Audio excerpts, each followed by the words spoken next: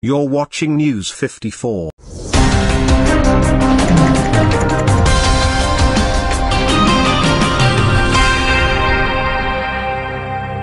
The late Moi was a Kenyan statesman and politician who was the second and longest serving president of Kenya from 1978 to 2002. He was groomed by Jomo Kenyatta despite numerous rejections from the Kika Mafia. Daniel Moi had been referred by many Kenyans as a political prophet since he used parables which eventually came to pass. For instance, Moi's prophecy of Uhuru Kenyatta's presidency came to pass 11 years down the line.